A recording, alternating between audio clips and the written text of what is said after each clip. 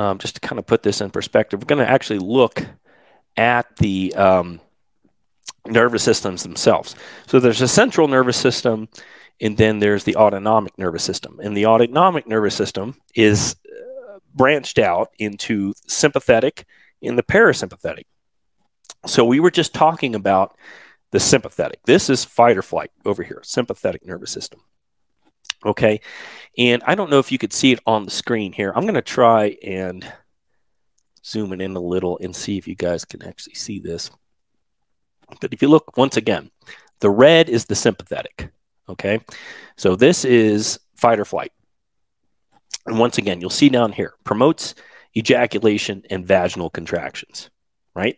That's what I just talked about before. That's why this is such a, uh, a killer when it comes to premature ejaculation. Okay, because that's exactly what it does. It promotes that ejaculation, but it's also an erection killer. And you'll see that compared to parasympathetic. Now, this is where we want to be, right? Look, promotes erection of genitals. That's what we want. Okay, it also makes it less likely you're going to ejaculate because that happens in the sympathetic nervous system. So the more we can stay in the parasympathetic nervous system, the better. Now, this is called sympathetics um, fight or flight. Parasympathetic is typically called rest and digest. I call it rest and reproduce because, of course, that's what we focus on here at, at Rock Hard for Life. But it also emphasizes just how important this is for sexual functioning. Okay, and that's that's true of um, once again uh, not just males. You know, it's females too.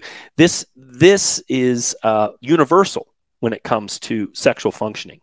You know, erection of genitals. Well, that would be like erection of the clitoris as well. The clitoris getting harder, as well as you know being lubricated and all that stuff happening, as well as orgasms. Right?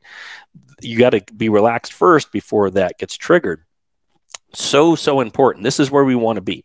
So I wanted to see have you see it from the nervous system perspective.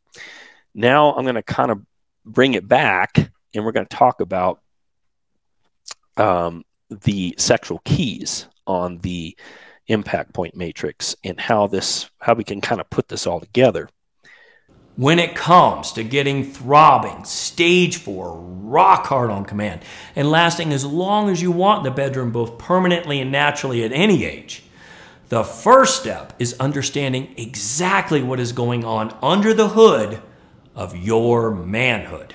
Because if a man doesn't understand the basic mechanics of how his manhood works, how can he expect anything he tries to work? He just ends up throwing punches in the dark and then is frustrated when everything he tries stops working and makes his hardness and lasting power worse over time, conveniently leading him to more and more extreme treatments that further destroy his manhood and his ability to perform in the bedroom.